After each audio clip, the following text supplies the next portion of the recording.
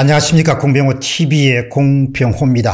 정의 따위는 필요가 없고 오로지 이익만 추구하면 된다. 이런 탕류가 아주 요란스럽게 흐르는 시대에서 그래도 정의 구현을 외치고 선거 정의 없는 대선 없다. 선거 정의 없는 대한민국 없다고 외치는 후보 한 명 정도는 우리가 확인할 수 있었으니까 그래도 대한민국에서 희망이 있다 이렇게 볼 수 있겠습니다. 10월 10일 날 일요일 날 오후 5시에 황교안 후보는 김재훈 국민의힘의 공정선거 추진단장 요청과 관련한 답변에 대해서 기자 인터뷰를 가졌습니다. 이 내용이 하도 중요하기 때문에 황교안 후보의 인터뷰와 별도로 다시 한번 정리해 볼 필요가 있을 것 같습니다. 아래는 황교안 후보가 자신의 주장을 재정리해서 자신의 SS에 통해 가지고 발표한 그런 내용입니다.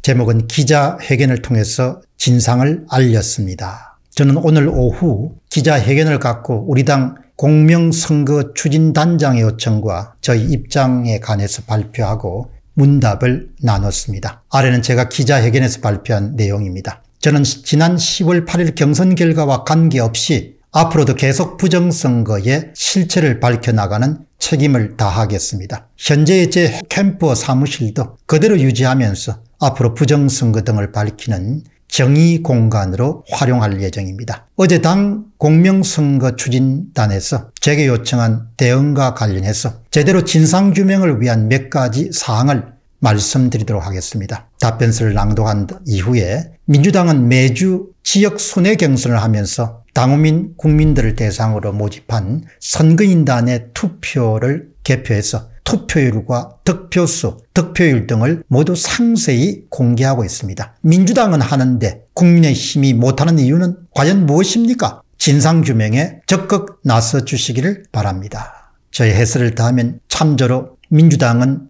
소수점 이하 두 단위까지 거의 실시간으로 소개합니다. 그만큼 경선 부정에 대한 시비가 높기 때문에 그것을 없애기 위해서 더불어민주당 입장에서 나름대로의 자구책을 구한 것이죠. 이런 점에서 보면 국민의 힘이 썩어도 너무 썩었습니다. 이준석이가 들어온 다음에 너무 그냥 조직이 썩어버린 겁니다. 원래 썩었는지는 알 수가 없지만 어떻든 이번에 경선은 그야말로 썩은 것이 그냥 엑스포와 같습니다. 다시 황교안 후보의 주장입니다. 누구는 자유민주주의 선거 정의를 지키는 저의 행동에 대해서 선거 불복이라고 비하하기도 합니다. 저도 선거 불복은 부적절한 것이라고 생각합니다. 그러나 불복해서는 안 되는 선거는 정상적 선거인 경우입니다. 불법 선거, 불법 선거 공작에 대해서는 이야기가 전혀 달라집니다. 오히려 부정한 선거에 불복하는 것은 정의를 세우는 길입니다. 저는 지금 정의를 세우기 위해 싸우는 것입니다.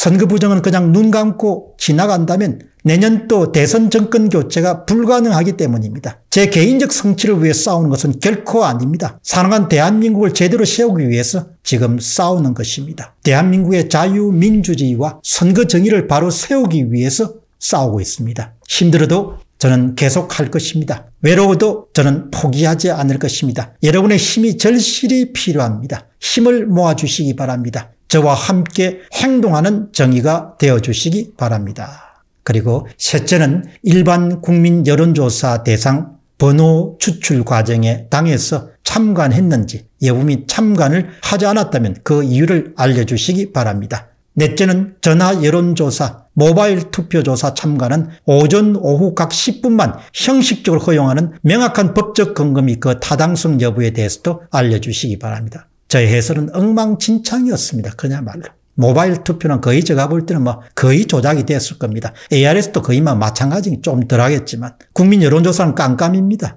그러니까 밀실에서 그냥 결과를 만들었다 보면 되는 거죠. 다섯 번째는 공명선거 추진단에서 진상조사를 위해서 여론조사, 모바일 투표조사, 로그 기록조사 등 조사 시 후보자 즉 3인 이상이 조사를 참관할 수 있도록 협조해 주시기 바랍니다. 아울러 경선 이전에 반드시 있었어야 될 후보자 간의 룰 미팅 등 협의가 이번 경선에서 아예 없었던 점에 대해서도 해명해 주시기 바랍니다. 그리고 저는 그동안 진행되었던 후보 토론에서 지속적으로 4.15 총선의 부정선거였으며 그러한 부정선거의 주범이 중앙선거 관련해 우리 당 후보 경선 여론조사 등을 맡기지 말고 우리 당 선거관리위원회 중심으로 후보 경선 절차를 진행하자는 그런 정당한 요구를 했습니다. 그러자 당 선거관리위원회에서는 두 차례 걸쳐서 저에게 경고장을 날렸습니다. 이에 대해서 국민 대다수가 분노하고 있습니다. 왜 그렇게 하셨는지 그 경위와 의도를 답해 주시기 바랍니다. 나아가 당 선거관리위원회 한 고위 간부는 지난 7일 각 후보의 참관인들이 모인 장소에서 공개적으로 부정선거가 없는데도 황교안 후보가 잘 모르면서 부정선거 주장을 하고 있다는 취지로 이야기를 하였다고 봅니다. 저의 해설을 좀 더하면